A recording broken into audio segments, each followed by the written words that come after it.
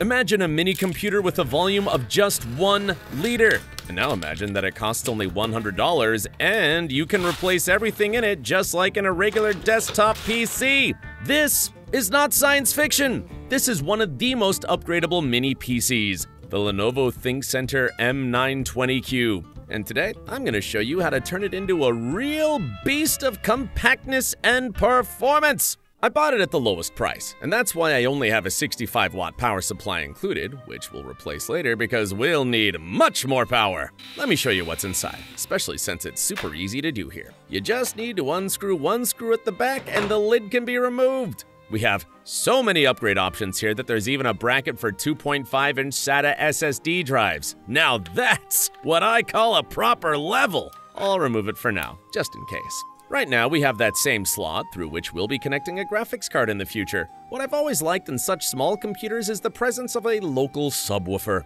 And on the bottom, we have a lid that also opens and gives access to upgrading the RAM, of which in my case, well, barely anything. Just one 8GB stick and a modest SSD with only 256 gigabytes of storage. Next to it, there's also a space for soldering another SSD slot, but that's more for the X version of this mini PC, which I didn't buy, and I'll probably regret that in the future. You'll soon understand why. The cooling system here isn't very powerful, to be honest, and it'll bring me quite a bit of pain in one particular spot. It's fully aluminum and weighs only 77 grams. If you add copper heat sinks, it'll go up to 88, but that's for later. And now take a look at this beautiful socket for Intel 8th and 9 Gen processors. This isn't for some weak mobile scraps, but for real powerful desktop CPUs. A socket for processors that can still compete with the latest mobile variants.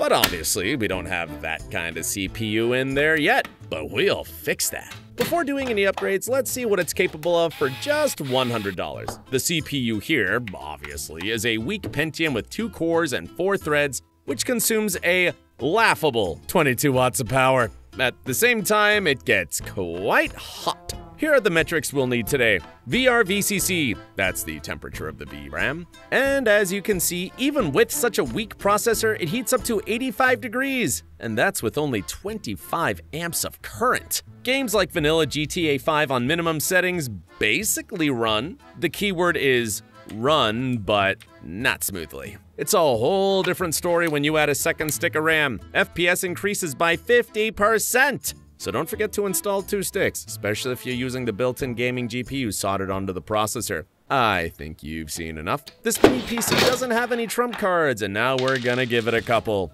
I'll start with the CPU upgrade. For that, I will once again remove this pathetic cooling system. I think it would be a good idea to rinse the heatsink under the tap because every degree matters, and as we all know, dust worsens heat dissipation from the heatsink. The thermal paste is almost dry. That's exactly why we saw 85 degrees on such a weak processor. Let's give our Pentium a little rest, and instead, I've got a whole pack of options here. The most interesting one, this beauty. The i7 9700 with 8 cores. There's also this i5 8500, which you might have seen in my SFF build video. At first glance, they look like the same processors, but there's a 700 MHz difference on all cores, so if the i7 doesn't work out, I'll come up with something using these two brothers, especially now that I've got Thermal Grizzly, the liquid metal compound. I bought a whole 5 grams of this stuff, so it'll last me a lifetime. I'll be smearing it in every appropriate and not so appropriate situation.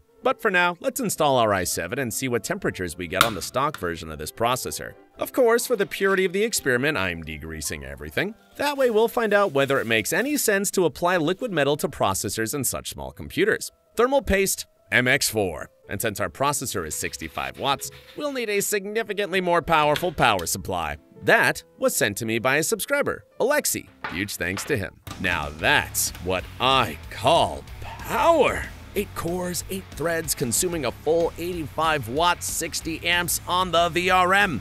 God, it heats up so fast. The processor is obviously at 100 degrees. And there it is, the VRM is overheated, 95 degrees. I tried undervolting the processor, which by the way does work on this computer, but the CPU is just too powerful for this PC and the VRM still overheats. I'm disappointed. But not for long, because I installed the 65 watt i5 8500, which I successfully undervolted to 40 watts of power consumption. The difference with the T processor is a whole 700 megahertz, so it's worth fighting for. So let's lock it in. 92 degrees, average temperature, and the maximum 98. The VRM heated up to 93 degrees in 10 minutes, which is obviously a lot, but this is a stress test, meaning in games, it'll be less.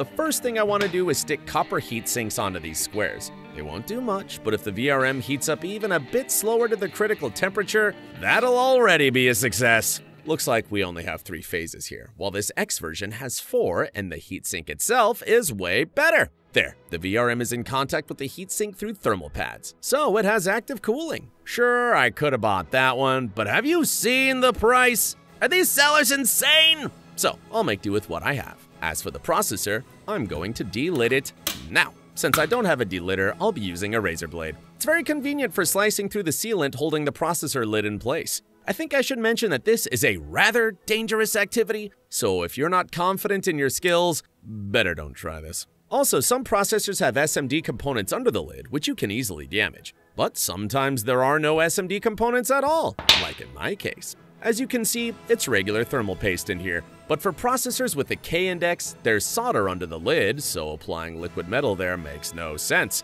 You get a 1 to 2 degree difference at most if you go through this process. You need to clean the lid and the CPU from the old sealant. This is quite difficult, especially when you're filming everything on camera. One wrong move and you could damage the traces on the CPU. Here's how I managed to clean it. Next, you need to prepare the liquid metal syringe, specifically, install the needle. Then degrease the areas where the liquid metal will be applied. For that, the kit includes two alcohol wipes.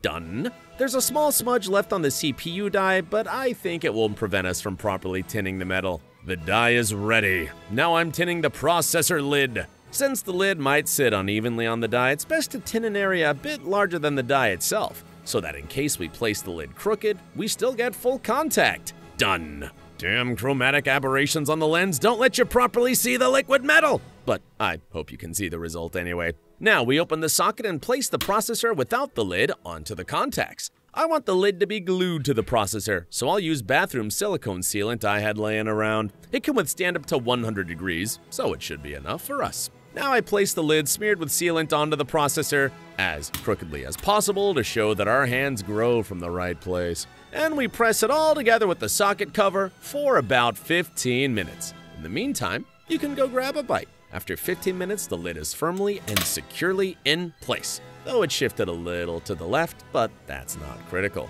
We put our modified sandwich back in place. Apply, just like last time, MX4. What, did you think I'd smear liquid metal on top too? The thing is, you can't apply it on aluminum, only on a copper base or better, nickel plated. And what could possibly go wrong? Just look at this shame. Only this one spot had contact, and all because I, the genius, somehow managed to screw down the cooler with my powerful electric screwdriver, even though this heatsink was seriously in the way. As you can see, here's the spot where it was hitting, so be more careful. And here's the result. The temperature dropped by 4 degrees on average and by as much as 9 at the maximum. At the same time, the computer got a bit quieter. So liquid metal definitely makes sense. But I've got bad news. The VRM still overheats, so I lowered the processor power a bit more by 200 megahertz, and the overheating disappeared. Still a win! Now, about everything else. I'll be installing 32 gigabytes of RAM with two sticks.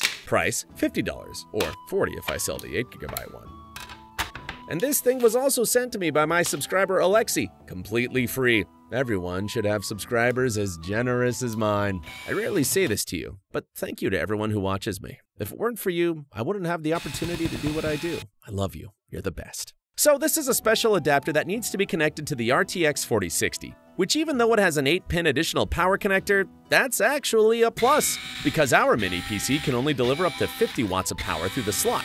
But since our GPU has additional power, it will draw what it needs through this 8-pin connector. Now, to make the graphics card fit, we need to remove some parts from our mini PC, specifically the display port and the rear bracket and this front reinforcement bar. Done! Now we place our RTX 4060 right into this spot. Now what is he doing? How can you mess up like this? Tell me! Forget what you saw! Just look how powerful everything looks now. The GPU sticks out of the case a bit. Now, of course, we don't have a 1 liter build anymore. It's a bit more because I bought a so called Flex ATX power supply rated at 500 watts. I bought an expensive FSP, of course, but for a single GPU, you could go with a much simpler Chinese PSU, and there'd be no difference. It'll lie like this, or rather stand, because airflow needs to reach the fan. It ended up being about 2.5 liters and no more. The case cover, of course, won't be there. Not because the mini PC already looks cool without it, but because the Chinese refuse to send me a 3D printed one. They want me to work for free. Although, honestly, it'll cool better this way anyway. Now to make the PSU turn on, you need to connect the third and first pins on the main connector. I could have made a simple button to open and close the circuit, but I'm too lazy to do that, so I'll just use a regular wire. Now let's plug in all the wires and see if there are any issues with such a setup. And uh, there are a few. First, we turn on the power supply and then the main PC, and everything works. Man, the VRM on this board heats up like crazy. Feels like even 35 watts is already too much for it. Anyway, 3.7 gigahertz on the i5, that's the maximum allowed on this PC. As you can see, the game runs quite well, 70 to 80 FPS. Now about the bugs on this system. See how the frequency drops to 800 megahertz? At first, I thought it was the VRM overheating.